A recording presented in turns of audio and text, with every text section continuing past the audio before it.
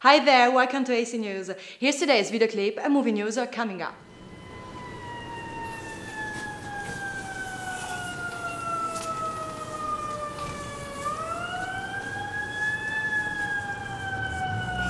Jesus Christ. Yep.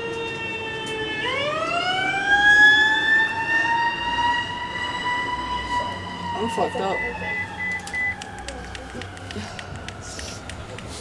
Wow. John Moore, director of Max Payne and The Omen, is now currently shooting A Good Day to Die Hard in the city of Moscow. Bruce Willis is still playing his role character, John McClane, and his son, Jack, is interpreted by Jack Courtney. The director said that he is trying to downplay the humor in that production. He thinks people will not appreciate it and wants to concentrate more on uh, cynicism. Coming to theaters February 14, 2013. That's all for today. See you next time.